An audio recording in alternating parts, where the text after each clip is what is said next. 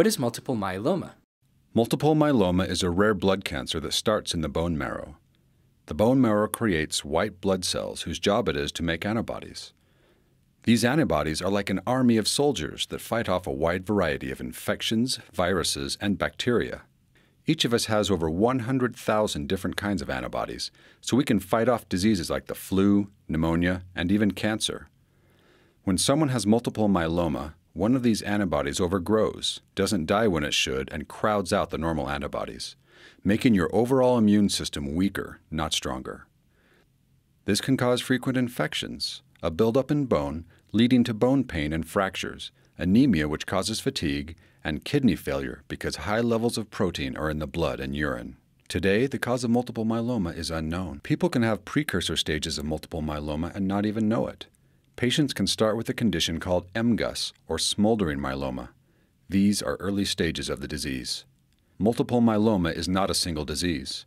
There are different genetic types of myeloma. Some are normal risk and some are high risk where chromosomes get swapped or deleted. So no myeloma patient is exactly the same. Additionally, the genetics of myeloma can change and become more aggressive over time. Getting the right tests at the beginning of diagnosis is absolutely critical, because once treatment starts, the treatment kills the myeloma cells where these features reside. And to fight the enemy, you need to know as much about it as possible. A myeloma academic center is a great place to do your initial testing. These tests include blood tests, urine tests, bone marrow biopsies, and imaging tests like MRIs and PET CT scans. Today, multiple myeloma is incurable but very treatable. There are a wide variety of oral medications, infusions, and chemo that are used effectively to treat myeloma. With so many options, the drugs can be combined to effectively and individually treat each patient. These combinations are commonly used in addition to stem cell transplant. Advances in new myeloma therapies are giving patients great hope.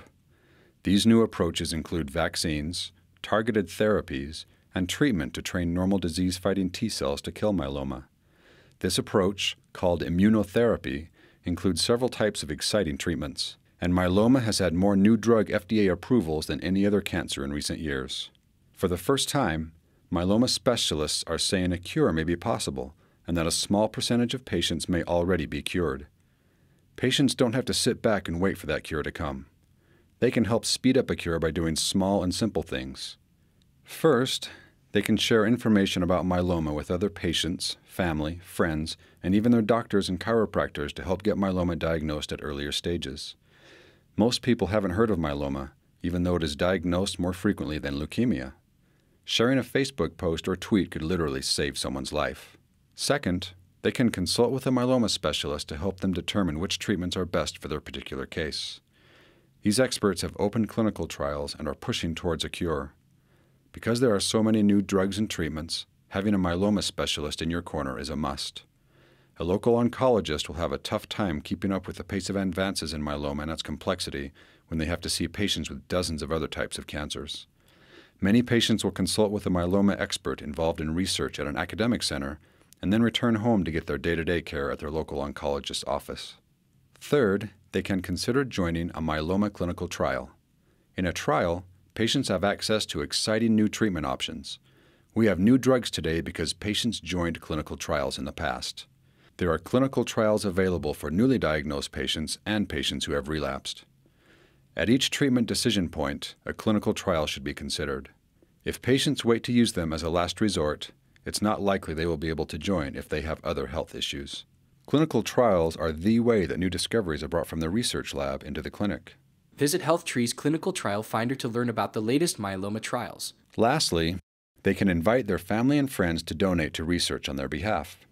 The NIH is only funding one of every 12 proposals, so even the best and brightest researchers from top facilities need funding to complete their work. Friends and family want to help.